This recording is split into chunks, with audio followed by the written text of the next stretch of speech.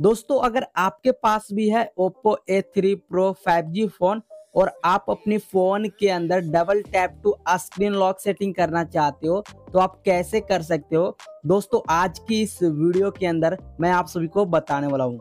दोस्तों, मैं अपने फ़ोन के अंदर double tap to screen lock setting करके रखा हूँ। अगर मैं अपने फ़ोन के स्क्रीन पर दो बार टैप करता हूँ तो मेरा स्क्रीन का जो लाइट है, वो ऑफ़ हो जाता है।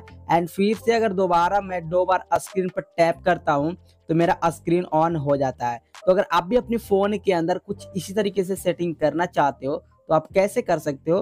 दोस्तों, आज की इस वीडियो के अंदर मैं आप सभी को बताने वाला हूँ। तो double tap to screen lock setting करने के लिए सबसे पहले आप सभी को क्या करना है कि जो आपके फ़ोन के होम स्क्रीन है, उस पर दोस्तों आपको थोड़ा सा होल्ड प्रेस करके आपको दबा कर रखना है, ठीक है? इसके बाद दोस्तों आपके सामने कुछ इस तरीके से इंटरफेस आएँगे तो दोस्तों आपको नीचे में बहुत सारे आइकन देखने को मिलेंगे। तो आपको थोड़ा सा स्क्रोल करके नीचे आना है एंड दोस्तों, आपको यहाँ पे एक ऑप्शन देखने को मिलेगा मोर का, ठीक तो सिंपली आपको मोर पर क्लिक करना है। इस पे आप जैसे क्लिक करते हो तो आपके सामने कुछ इस तरीके से इंटरफेस आएँगे। तो दोस्तों, आपको क्या करना है कि थोड़ा सा स्क्रॉल करके नीचे आना है, ठीक है?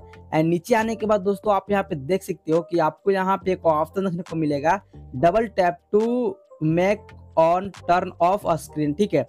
और अभी आपके फ़ोन के अंदर जो ये ऑप्शन है ना, कुछ इस तरीके से ऑफ़ होंगे।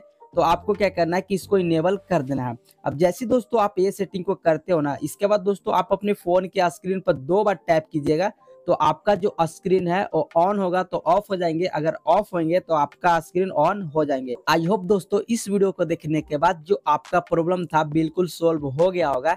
एंड दोस्तों, अगर आपको वीडियो अच्छा लगा तो वीडियो को लाइक कर दीजिए और वीडियो को शेयर कर दीजिए। और अगर आप मेरे चैनल पर नए हो तो चैनल को सब्सक्राइब ज़रूर कीजिएगा। मिलते हैं फिर ऐसे इंटरेस्टिंग वीडियो के साथ। जय हिंद, वंदे मातर